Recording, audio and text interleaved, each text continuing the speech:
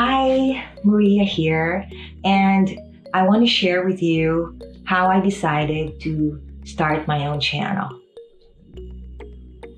Okay, so I've practiced this so many times, I've written so many scripts, and I've sweated on so many videos. That's why I have this. It's so hot. By the way, I'm editing my own videos. I'm actually practically doing everything myself.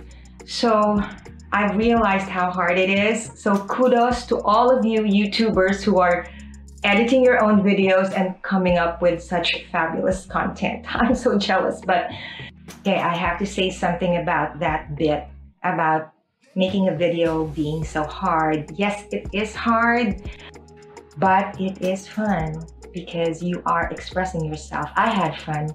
There were nights wherein and days where I would be up for more than 24 hours. I'm not kidding this. But I had been on such a high. It's um invigorating. It's totally worth it.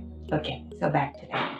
What I'm trying to say is I think I realized that you know how when you grow up while you're growing up, you're kind of like pose the question on, okay, what do you want to be when you grow up? At least that's how it was with my generation. It was like already forced upon us that you have to decide what you want to be when you're like, what, six years old. also, I wanted to add to that, now I get it, what people are saying on motivational videos.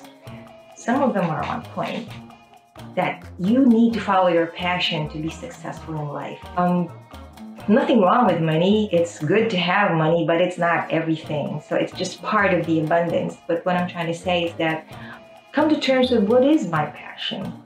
And I had to realize that that I actually like went through each and everything that I like to do and it was thrifting that I was most happy with.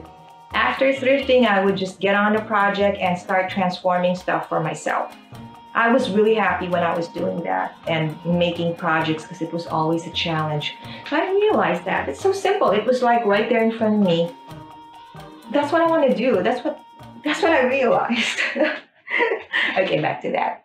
And um, I, you know, raised a family. I'm a single mom. My sons are already grown and they're out of the nest. Still, um, I've struggled to Sorry, it's so hot. okay, I've struggled to um, find myself and find how I could be like fitting into this world that was constantly evolving. Okay, I also wanted to add there was not no such thing as a virtual platform, a virtual world back then. 20 years ago, there was none of that. And now it's like everything is fully online. If you put it in another perspective, it opened up a whole new world. So that's what I was trying to say. We were getting ready for it. The millennials were already preparing that platform. And then boom, we were all launched into it last year. So I appreciate it now. I'm so happy to be here. Okay, back to that. Okay, quick background on what I did for work. So I started off as an assistant designer for a really bougie lingerie company that was based in New York. So I did that while I was here in the Philippines. Um, and then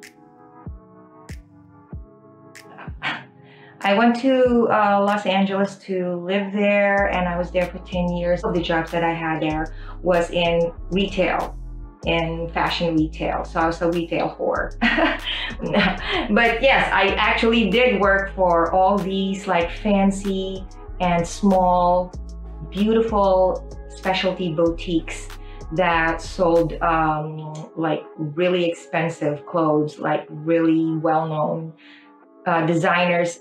And so there was one particular um, boutique there that I worked at a lot of the clients were asking me where I got my stuff, and I made them.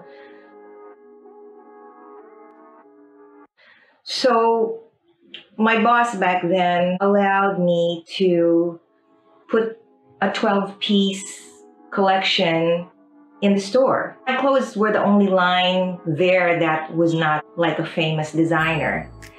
And it sold. And that's how I knew that, you know, I could do this.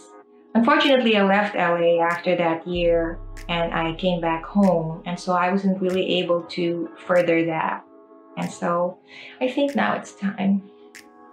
As an artist and as a fashion designer, well, I wouldn't say I'm a fashion designer. I'm sorry, I'm a deconstructor because it's not really fashion that I'm doing. I'm styling clothes, I'm repurposing them. I correct myself. That's what I've been doing. I'm gonna show you this shirt.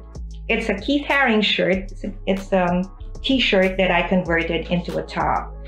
So that 10 years that I did doing retail for different stores, like gave me a background of what I'm doing now. So I, that was actually my styling school. Okay, back to that. I couldn't really find my relevance to that world because I don't know, I it's like everything was preset. There was no not really much any room for people like me. But with the new generation that came in, my son's generation, millennials, um, I have to say that I'm grateful to you guys because your generation just turned everything around, and a lot of you have been awake. A lot of you were born awake, and you're like game changers.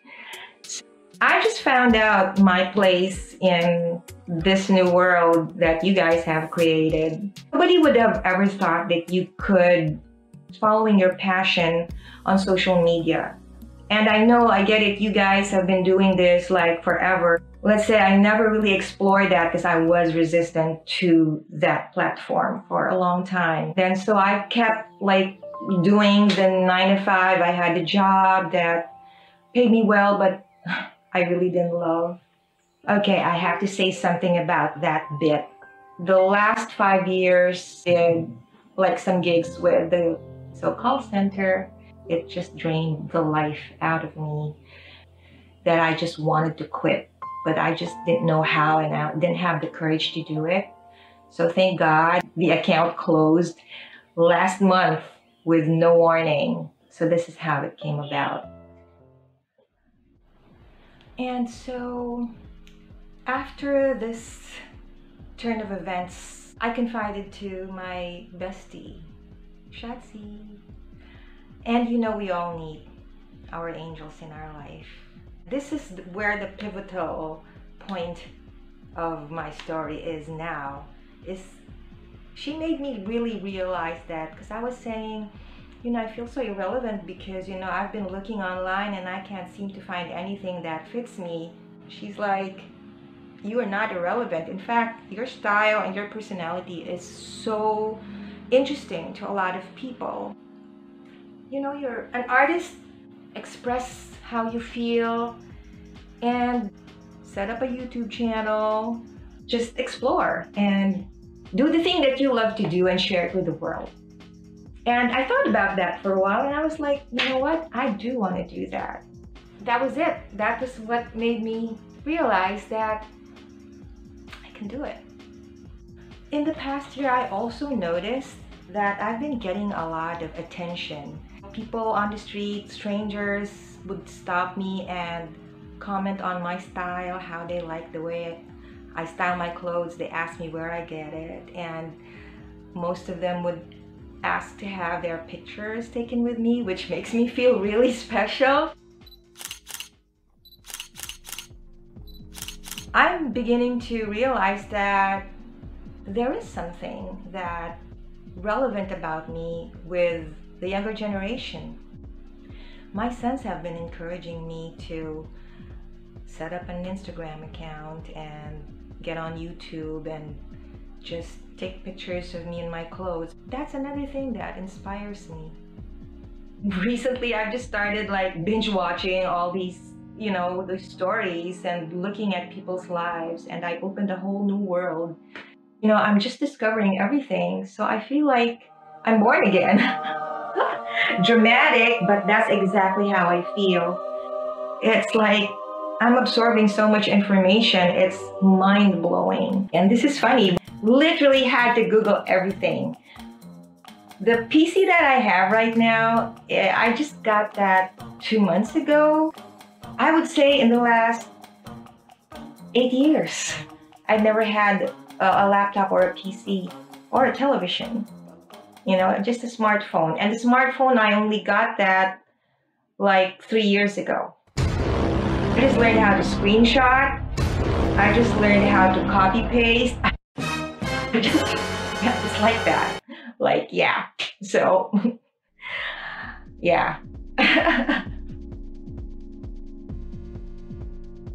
Finished two videos already, and I didn't quite like it because it was kind of scripted, and, and that's not really how I am. So, I decided to do it again this time this way. So I'm sorry. This is how it goes for me. I just wanted to share with you the life of an artist, a single woman, choosing to be single, being happy with it, and following her passion. And so at this age, this is my I guess, goal in life. I want to be an influencer or I want to just express myself to the world and put myself out there. So that is that is it. I don't want to say anymore or else I'll be rambling on. But I just wanted to give you a background of that, of how I decided to be on YouTube. Let's go on this journey together. Journey together, life in the virtual world with Maria.